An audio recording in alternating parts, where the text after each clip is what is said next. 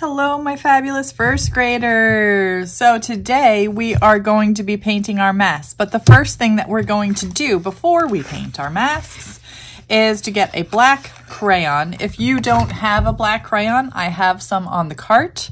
And you are going to outline every single line that is on your mask in black um, crayon. So I'm going to speed up the video right now so that I can do it really quick.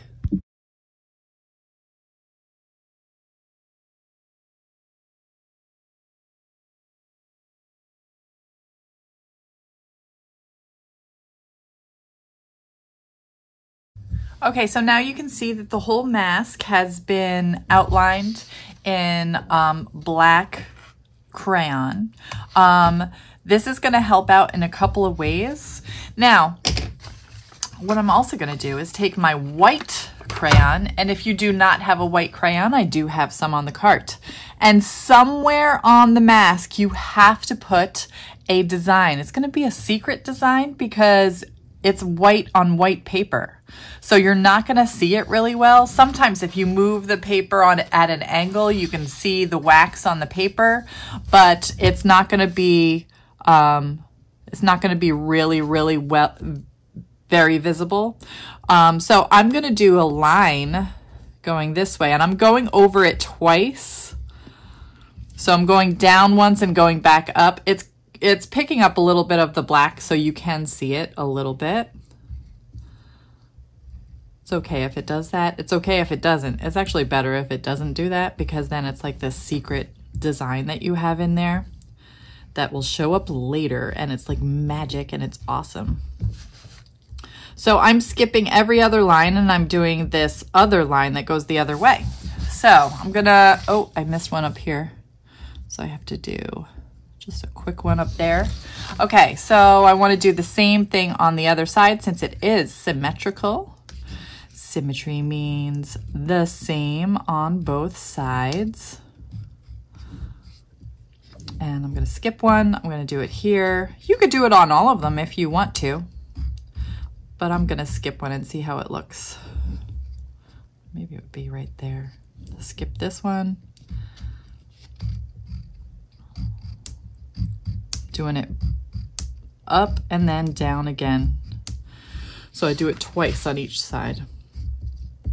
For each line, I'd go over it twice. So it's really, I'm really pressing hard with my crayon too, so it's gonna show up. Now, sometimes you can see it if I put it on an angle. I don't know if you can see that through the video. Through the video, it's kind of hard. Okay, so now that you have all of your pencil work, done in black crayon and then some secret designs done in white crayon. Now you are ready to paint. So you are going to take one color, only one color, and you're going to do the two sides that are symmetrical. So I'm going to do, what am I going to do? I'm going to do purple. So it's best if you have your paints on the same side as your water because you want to drip into the paints. You do not want to drip over your mask and maybe do something that you didn't want to do. So I am adding lots of water to the purple. So I decided that I was going to do purple. And now I'm going to take my brush. I am going to put it on its side. Let me see if I could do a close up of this over. Sorry about the, the noise. Okay, I'm to roll it on its side, and I call this rolling like spaghetti. Now, I'm going to roll it for a while because I want there to be a lot of paint on here. Right now, there's a lot of water on here with a little bit of paint. I want there to be a lot of paint on here, so I'm rolling like spaghetti for a pretty long time. The more you roll, the more of the pigment or color gets mixed in with the water and mixes onto the brush. So it makes it a thicker paint. It makes it a more vibrant color, a more bright color. So I'm rolling like spaghetti, rolling like spaghetti, rolling like spaghetti. Okay, so now I'm gonna back it up again so that you could see. Now I'm only doing one side. I'm starting with one side. I'm not doing both sides. Now, if I do this purple I cannot do this purple. I cannot do this purple because it shares a wall. Do you see that? It shares a wall.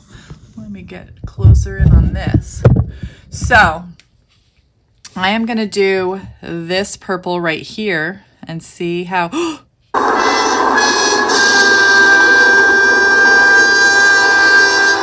Did you notice what just happened? The secret magic happened. And sometimes it doesn't happen as much. But if you see the the wax where it was really thick, pushed the paint off of it, said, paint, get off of me. I don't like you. See, I went over that twice and it no longer has the power to push it off. It doesn't. It's just when you go over it once, it has the power to push it off. So I'm going to wash my brush. I'm going to get some more paint on here. And I'm to go, I'm to skip this one because remember, this one cannot be purple. So I'm to go up here and I'm to go up.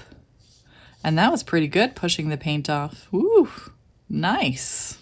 So you could see my secret, secret design. To get more paint.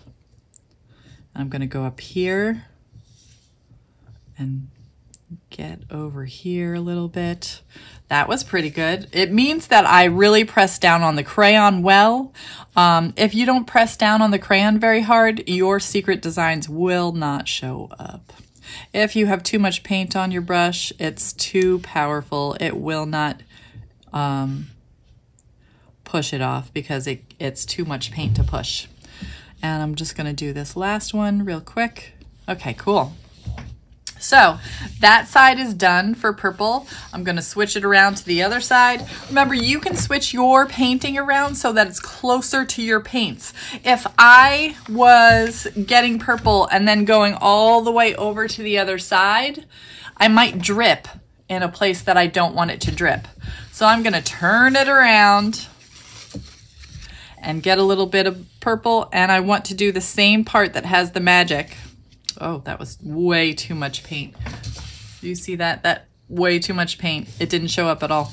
So I'm gonna get a little bit of water and now I'm gonna go over here and that is perfect. Look at how it's just pushing the paint off saying, get off of me! Nicely done.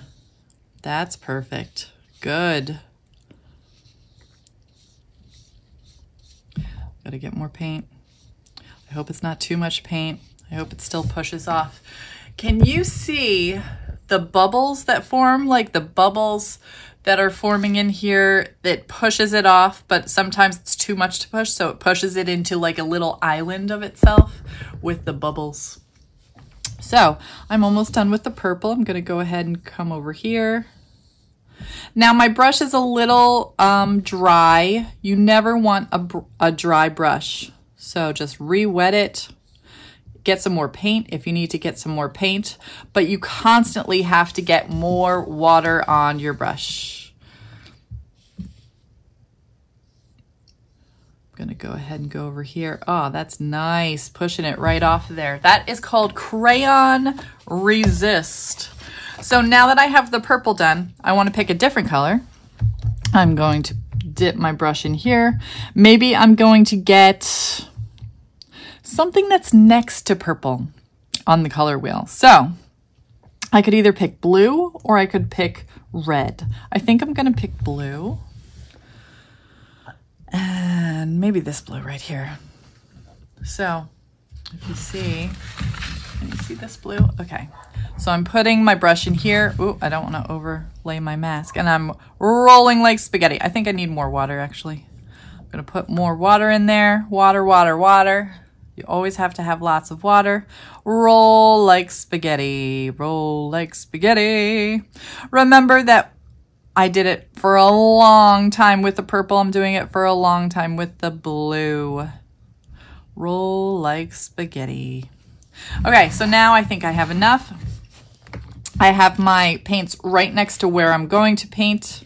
And I'm going to go right up here.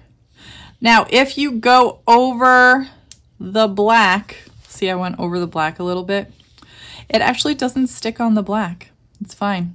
If you go over the black on this side, that's fine. because we are going to be cutting this whole part out. No worries. And people go over the lines. Sometimes that's no, no problem at all. You want to stay in the lines as much as you possibly can, but accidents happen. No one is perfect. I'm going to go around here. I could go right off of that. Oh my goodness. Right off. I don't want to go in the eyebrow. Obviously, that has to be a different color because it shares a wall with the blue. So it cannot be blue because you can't have two of the same color separated by a black line because then you're messing up your um, your design. Your whole design is messed up, so you don't want that. I'm going to switch my mask around. Yes, it's upside down. Upside down masks are fine. So I'm going to do the blue over here. And the blue over here, trying to be as neat as I possibly can. Notice I'm not smashing my brush down. I'm using the tippy toes of my brush like she is a ballerina. She is only on her tippy toes. Dancing around my paper on her tippy toes. I am not smashing that brush down. If you don't have enough paint on your brush, it's because you don't have enough water. Get more water, put it on your paint, and roll like spaghetti again. I rolled like spaghetti a lot for in the beginning, so I don't really need to do a whole lot more. I am going to add a little bit of water though for this last one because I am running out of water. Last one. Okay, good. Okay, if you have one section done today, you are fine. If you have two sections done, I have this section and this section's done, you are primo in great, great shape. Now I left this last section because it's really complicated and I want to take time to do this. So I'm going to do this one section next time. I'm going to wait for next time to do this more complicated section. Okay, so I am done for the day. I can put this on my on uh, the cart and I can uh, clean up so you're going to dump your little tray of water in the yellow bin, just like last time that we did that. You're going to put your dirty brush in the dirty brush bin on the cart. All materials go back to the cart. You are going to put your paint tray back on the cart open so it can dry for the next class. I hope you guys all remember um, how to do all that stuff. It all goes back on the cart. So I will see you. Good luck, guys. I hope you have lots of fun.